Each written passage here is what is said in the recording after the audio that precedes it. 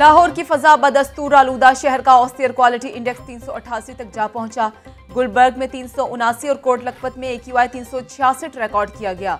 शहर की फजा आलूदा होने से शहरियों को सांस लेने में मुश्किल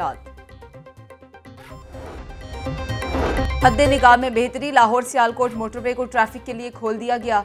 शहर के दाखिली और खारिजी रास्तों पर वार्डन्स की इजाफी नफरी तैनात। तर्जमान मोटरवे पुलिस के मुताबिक धुंध के बायस मोटरवे को ट्रैफ़िक के लिए बंद किया गया था।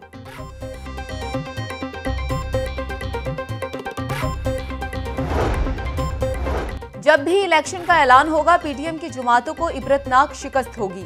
मौजूदा सूरत हाल के बायस चोर जुमातों का इलेक्शन से भागना चाहती है। उनके वजरा आपस में दस्तों गिरेबा होने लगे हैं। इम्पोर्टेड हुकूमत और हुवारियों के रास्ते जल्द जुदा होने वाले हैं।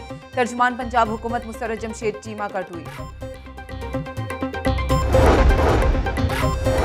मतरूका वक्फ अमलाक बोर्ड का काबिजीन के खिलाफ ऑपरेशन करोड़ों रुपए मालियत की ज़मीन वागुजार करवा ली गई ऑपरेशन मोची बाज़ार सुतर मंडी, रावी रोड और मोहनी रोड के इलाकों में किया गया।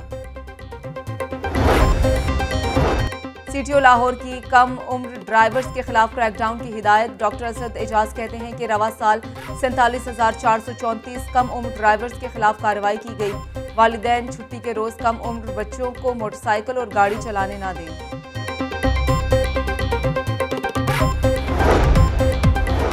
और छुट्टी का दिन और खुशगवार मौसम। खाबों के शौकीन लाहौरियों ने नाश्ता पॉइंट्स का रुख किया।